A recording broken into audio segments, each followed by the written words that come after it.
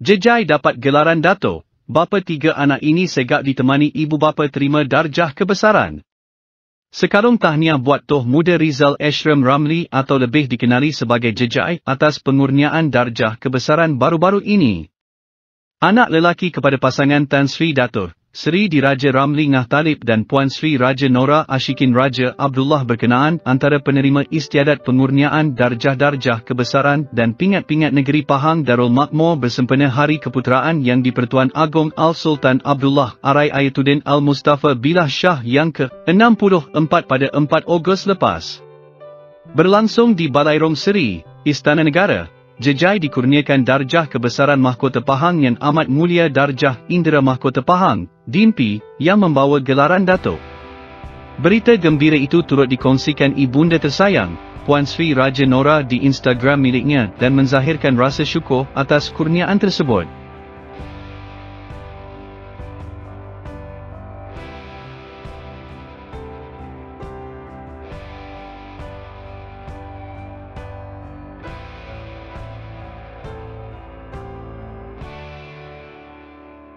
Tahniah tu awar santuh muda Rizal WHO has been bestowed with darjah kebesaran Mahkota Pahang yang amat mulia darjah Indra Mahkota Pahang, DIMPI, pada 4 Ogos 2023 bersamaan 17 Muharram 1445 Hijrah. Merafak sembah menjunjung kasih tuanku. Perkongsian tersebut menerima banyak reaksi daripada peminat dan rakan artis termasuk bekas isteri Jejai yang juga pelakon Nora Danis. Pada majlis itu, Puan Sri Raja Nora tampil anggun dalam persalinan kebaya songket rona merah jambu dan berselendang warna senada. Sementara suami, Tan Sri Datuk, Sri Diraja Ramli Ngah Talib dan Toh Muda Datuk Rizal Ashram Segak dalam persalinan baju Melayu hitam serta bersamping.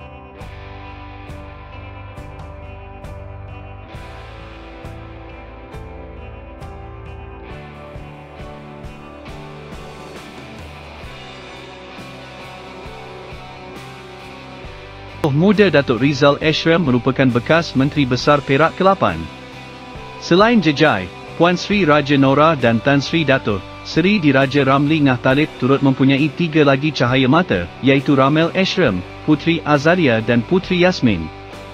Jejai pernah berkahwin dengan Nora Danis pada 20 Jun 2006 dan dikurniakan seorang anak lelaki, Putra Rekal Ramli berusia 14 tahun. Dia bagaimanapun bercerai dengan aktris berkenaan pada 2008. Jejai kemudian berkahwin dengan pelakon popular, Fasha Sanda pada 27 April 2012.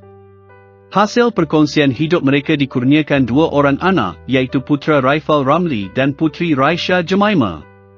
Pun begitu, mereka turut dilaporkan bercerai pada tahun 2016.